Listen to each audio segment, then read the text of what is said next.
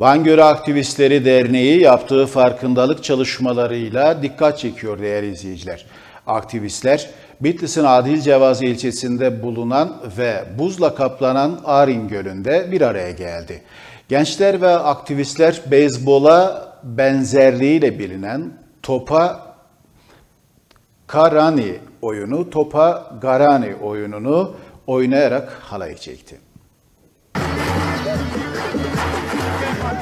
Bitlis'in Adil Cevaz ilçesinde bulunan ve buzla kaplanan Arin Gölü'nde bir araya gelen gençler, beyzbola benzerliğiyle bilinen Topa Garani oyununu oynayarak halay çekti.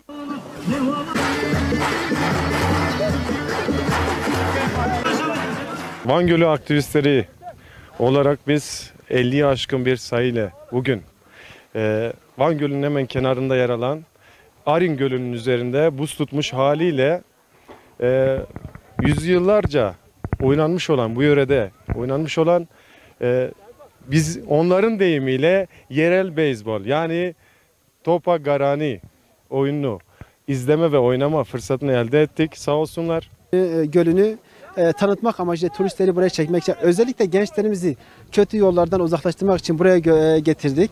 E, sosyal aktiviteleri yaptırmak için getirdik buraya. E, yerel bezbol oynadık burada. Onların deyimiyle e, topa garani, topa garani e, oyunu oynadık.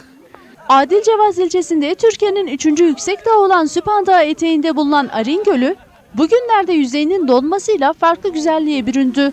Dondurucu soğuklar nedeniyle yüzey tamamen buzla kaplanan gölü fırsat bilen Van Gölü Aktivistleri Derneği üyeleri ve gençler, göl üzerinde halay çekip yörede unutulmaya yüz tutmuş ve beyzbola benzerliğiyle bilinen Topa Garani oyunu oynayarak doyasıya eğlendi.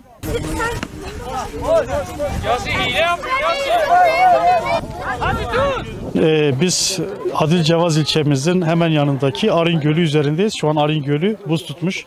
Kış aylarında buz tutuyor. Hemen Süphan arkamızda görünüyor. Ee, biz bu güzelliğe aslında dikkat çekmek için bugün burada buluştuk. Yaklaşık 80 kişilik bir e, aktivist grupla. Burada e, kaybolmaya yüz tutmuş yöresel oyunlarımızdan olan e, Topa Garani ismiyle, Holetek çeşitli isimlerle bölgemize anılan e, bir oyunu oynadık. Yüzeyinde yaklaşık 30 santimetre kalınlığında buz tabakası oluşan göl yüzeyinde beyzbol oynayan Van Gölü Aktivistleri Derneği üyeleri ve onlara eşlik eden gençlerin görüntüsü ise havadan görüntülenirken çocuklar ise kızaklarla gölün yüzeyinde kaydı.